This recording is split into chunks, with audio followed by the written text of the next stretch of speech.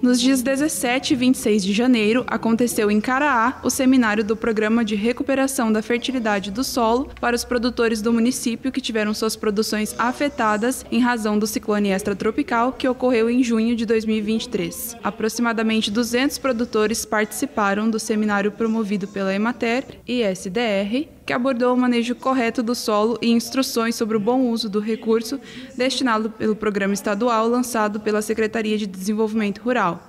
Esse programa uh, foi lançado pela Secretaria para minimizar um pouco os, o, os problemas causados pela enxurrada do ciclone aqui, Secretaria da, de Desenvolvimento Rural, uh, parceria aqui da, da Secretaria Municipal de Agricultura, Emater, o seminário vai contar com assuntos técnicos de proteção e recuperação da, do solo, né, de água. Uh, além disso, vai ser uh, explicado como é que vai funcionar o programa, né, junto à, entrega dos insumos. Um seminário muito, muito importante para o desenvolvimento e a consciência da proteção dos nossos solos. Para os produtores afetados pelas enchentes, esse recurso será muito importante. E o mau